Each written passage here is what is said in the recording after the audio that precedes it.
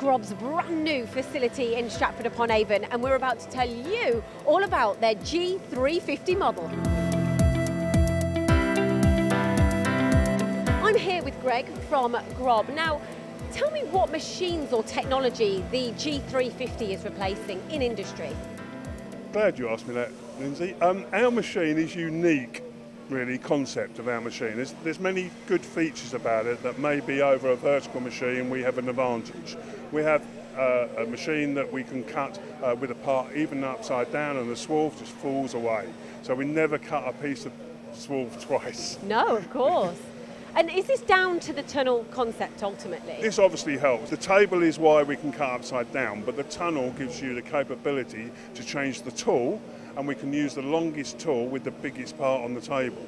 So with a vertical machine, for instance, you can't do that because the bigger the part, the shorter the tool is. So we can always cut the, the biggest part with the longest tool. It's quite important that. It, it makes a lot of difference to a lot of people. So a horizontal machine, people might go from a vertical to a horizontal. Tell me what pain points people are experiencing to have to take that leap.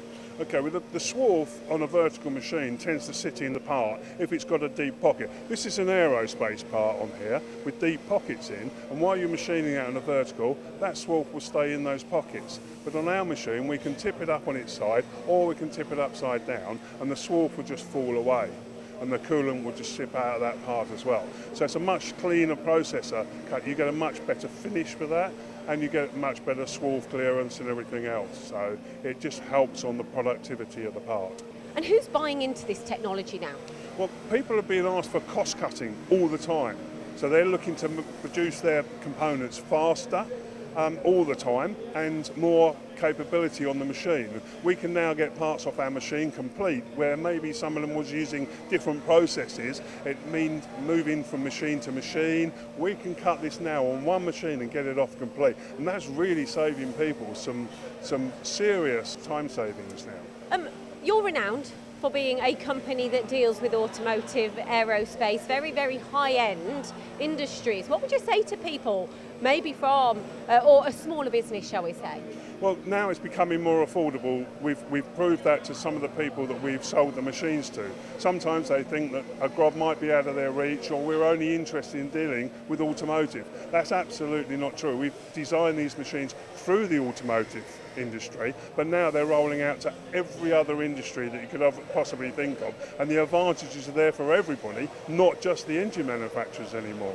So I was speaking to someone last night, in fact, and they said to me, Lyndsey, it's time for me and my business to buy a Grob. Why were they saying that?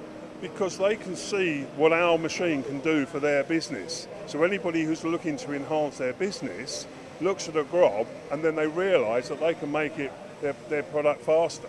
So they know when the time is right that now is the time that they're going to lose out to their competitors. They can keep up with the technologies. We have now on this machine the latest Siemens control. It's a Siemens One control on all our machines, which is the latest control. We also offer Heidenhain for people who, who want Heidenhain as well. So we offer different solutions to different people. It's not just one solution fits all.